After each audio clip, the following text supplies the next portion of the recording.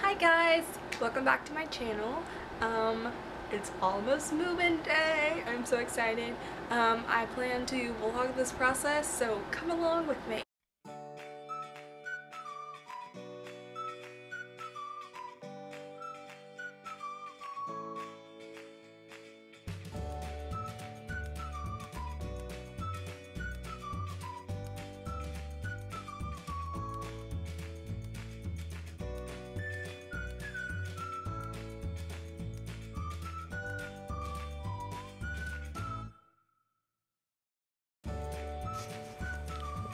So, this is our ride for tomorrow. Mm. Give you guys a little car tour. I got my brother's car seat and front seat, nice, nice.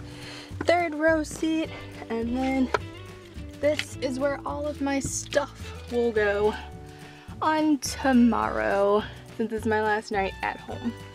So we have plenty of space and we're gonna hit the road tomorrow. Ready to go. In case you guys were wondering, that was a Dodge Caravan. Not really sure what model it is, but it's a minivan and we rented it just for this trip. So, moving day is almost here.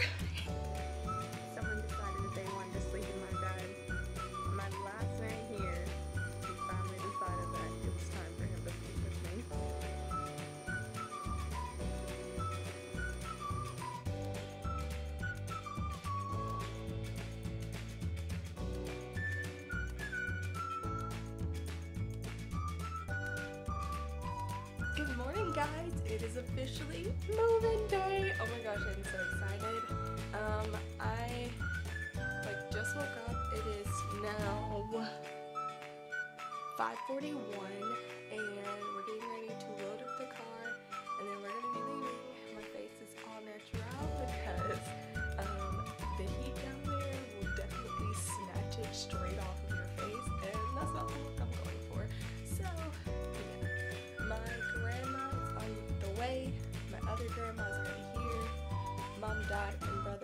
up getting dressed. And I just have a few more bags to take down the stairs. And then we'll be all set to go.